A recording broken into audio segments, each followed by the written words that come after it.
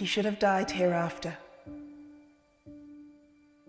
There would have been a time for such a word.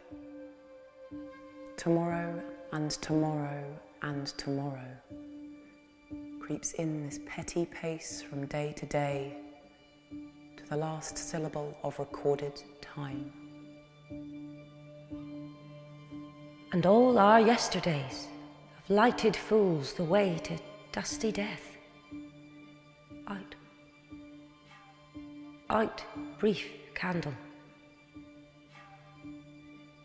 Life's but a walking shadow, a poor player that struts and frets his hour upon the stage, and then is heard no more. It is a tale told by an idiot, full of sound and fury, signifying nothing.